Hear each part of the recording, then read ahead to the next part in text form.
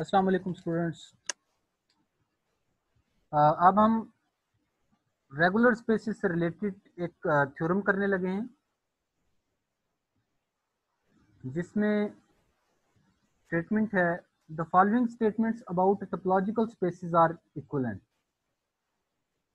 कौन सी statements equivalent हैं?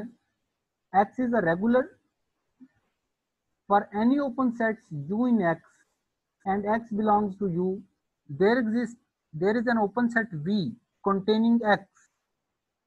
यानी कि हमारे पास x जो है, इस ओपन सेट का भी मेंबर है। और किसी भी ओपन सेट के अंदर अगर x मौजूद है तो उसके लिए एक ओपन सेट v भी एग्जिस्ट कर रहा होगा such that x belongs to v bar closure of v से which is subset of u each element of X has a local base containing closed set. तो तीनों स्टेटमेंट इक्वलेंट होने का मतलब ये है कि आप लोग किसी एक को सपोज़ करेंगे, दूसरी को प्रूव कर देंगे, फिर इसी तरीके से दूसरी को सपोज़ करेंगे और तीसरी को प्रूव कर देंगे और फिर तीसरी को सपोज़ करेंगे और फ़र्स्ट वन को हम क्या कर देंगे? प्रूव कर देंगे। One implies two first implication ली है हमने। कि x रेगुलर आप लोगों ने सपोज़ कर लिया, x is regular and second one को हम प्रूव करना चाह रहे हैं। Here it is given that x is regular x को रेगुलर हमने सपोज़ कर लिया है और प्रूव क्या करना चाह रहे हैं? इसकी सेकंड इंप्लीकेशन हम प्रूव करना चाह रहे हैं। Let u be an open set in x then with x belongs to u और x जो है वो member of open set u है। To prove that there exists an open set v in x अगर हम prove करना चाह रहे हैं कि एक वी इसके अंदर ओपन सेट है such that which contains x और x belongs to v bar is subset of u ये वो स्टेटमेंट uh, है जो हमने सेकंड वन में प्रूव करनी है। Now as x is belongs to u x जो है वो यू का मेंबर है और यू एक ओपन सेट है। यू अगर ओपन सेट है तो यू कॉम्प्लीमेंट का हमारे पास मेंबर नहीं होगा। और यू कॉम्प्लीमेंट जो है वो हमारे पास क्या है? क्लोज है। तो रेगुलर की डेफिनेशन क्या कहती है? रेगुलर की डेफिनेशन हमें ये कहती है कि एक open set there exist two open set u and v या यहाँ पर यू एंड वी नहीं यू हम पहले चूँकि सपोज़ कर चुके हैं इस वजह से अब हमने ओपन सेट के नेम लिए हैं वी और वी वन लिए हैं। There exist two open sets v and v one such that के एक एलिमेंट जो है एक्स जो है वो वी से बिलोंग करेगा।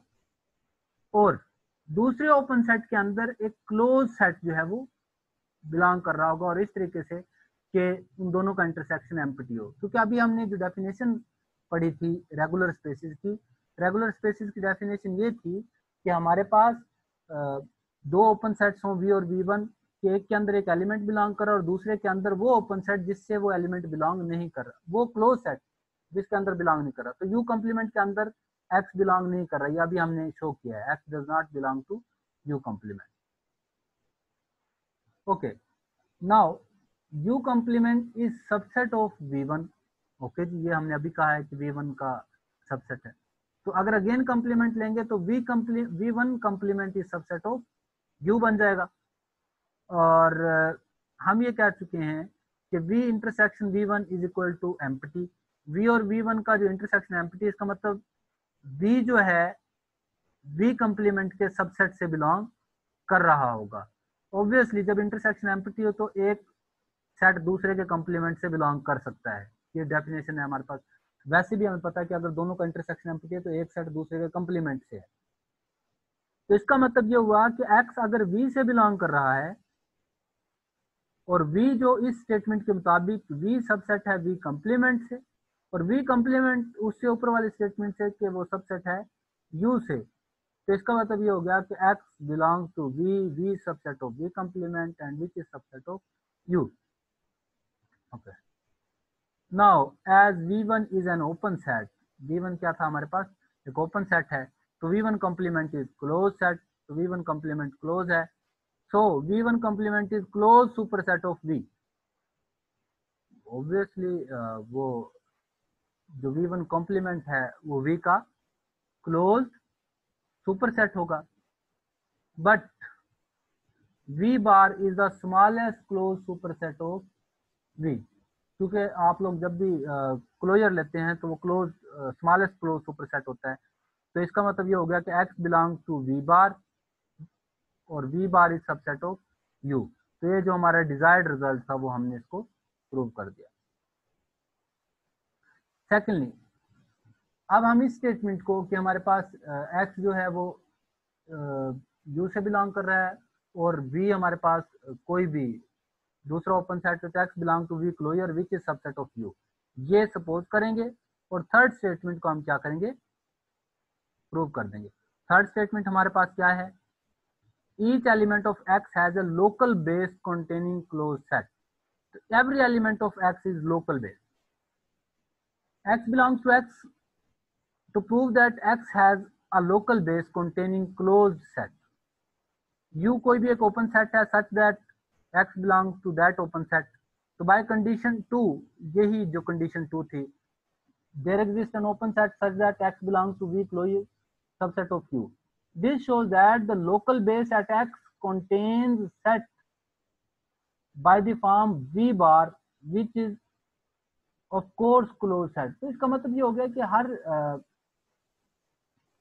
एलिमेंट uh, के लिए हमारे पास कोई भी लोकल बेस आप लोग जो मर्ज़ी ले लें उसके अंदर क्लोज सेट हमारे पास क्या है? मौजूद है। क्योंकि क्लोजर जो भी होगा वो हमारे पास क्लोज सेट ज़रूर होगा। अब लास्ट में हम ये कहेंगे कि हमारे पास थर्ड स्टेटमेंट हमने सपोज़ कर लिए और फ़र्स्ट वन को रेगुलर हम प्रूव करना चाह रहे हैं। X belong to x and a b the close subset of x such that which is different from a तो अगर एक्स जो है ए से बिलोंग नहीं कर रहा तो ए के कम्प्लीमेंट से बिलोंग कर रहा होगा। और ए अगर हमारे पास अगर क्लोज है तो उसका कम्प्लीमेंट ओपन होगा। तो थर्ड क्या कहती है statement there exist an open set b in the local base हमने कहा है कि लोकल बेस के अंदर एक क्लोज सेट होगा। At x such that x belongs to this closed set which is contained in a complement now b is subset of a complement या a is subset of b complement दोनों साइडों पर complement लेंगे तो आप लोगों के पास ये रिज़ल्ट आ जाएगा let u is equal to b ये ओपन सेट अब हम लेने चाह रहे हैं कि u ये वाला ओपन सेट हमारे पास okay, ये हमने क्लोज सेट लिया है u let u is equal to b and v is equal to b uh, b complement then u is open as u is in local base v as u is in local base and v is open because v is equal to b complement b हमने close लिया okay okay जी ये हमने b का complement लिया है तो ये भी ओपन है और u जो है वो हमारे पास लोकल बेस के अंदर मौजूद है लोकल बेस के अंदर ये हमने जो सपोज़ किया होगा थर्ड स्टेटमेंट हमने सपोज़ की है each element of x has a local base containing closed set.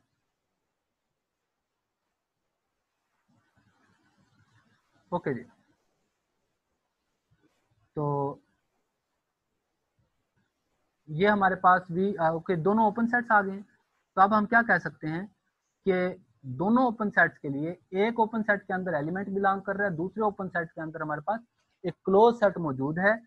Such that कि उन दोनों का इंटरसेक्शन एम्प्टी है। क्योंकि एक ओपन सेट जो है वो हमारे पास यू है जो कि बी के इक्वल है, दूसरा ओपन सेट जो है उसका कॉम्प्लीमेंट है और दोनों का इंटरसेक्शन हमारे पास एम्पटी है। तो यही डेफिनेशन हमारे पास रेगुलर की है। तो तीनों स्टेटमेंट्स को हम क्या कह सकते हैं कि दीज आर इक्वलेंट स्टेटमेंट्स इसके बाद हमारे पास है completely regular space A topological space X tau is said to be completely regular space if for any closed set A in X and X belongs to X or X does not belong to A, there exists continuous function f from X to 0, 1 such that f of X is equal to 0 and f of A is equal to 1 यानी कि अगर function apply हो x क्यों elements पे x पे तो फिर answer zero आएगा। और अगर ए पर क्लोज सेट के एलिमेंट्स पे जब फ़ंक्शन अप्लाई होगा तो फिर हमारे पास क्या आएगा? वन आएगा। तो अगर ये क्राइटेरिया होल्ड कर रहा हो तो फिर हम इसको कहते हैं कि ये कंप्लीटली रेगुलर स्पेस है। और याद रखिएगा, हर मीट्रिक स्पेस जो है वो कंप्लीटली रेगुलर स्पेस होती है। अब हमने पहले ये प्रूव करना है कि हमारे पास हर कंप्लीटली रेगुलर स्पेस जो है वो रेगुलर भी है।